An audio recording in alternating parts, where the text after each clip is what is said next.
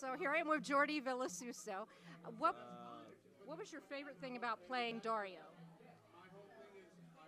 I love Dario when a woman accepted him and liked him, and there was only one woman, and she left him soon after because she found out that he was into some various dubious activities and wanted nothing to do with him.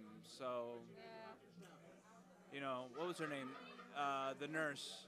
You remember her? Didn't it be? I'm so bad with storylines. I don't remember the nurse either. well, there you go.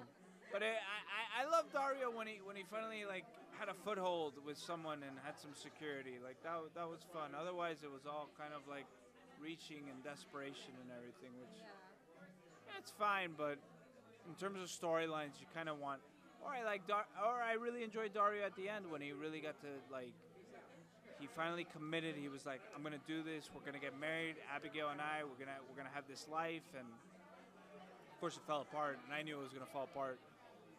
And I'm sure the audience did as well. But yeah. you know, What other projects are you working on right now that you're at liberty to tell us about?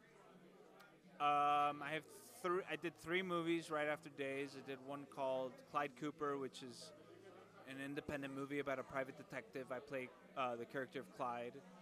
I have another movie called Killer Island that I believe will be on Lifetime, which I just saw some of some of the movie yesterday, and it's very good. And I just completed another movie called Framed, um, which is another thriller that I don't know. It's an independent film. I don't know where it's going to be. Yeah. Yeah. Lots of stuff going on now. Yeah, it's great. Oh, that's I'm, exciting. I'm grateful for it. Yeah. What message do you have for your fans that have followed you through, you know, All My Children and Days of Our Lives, your career and soaps?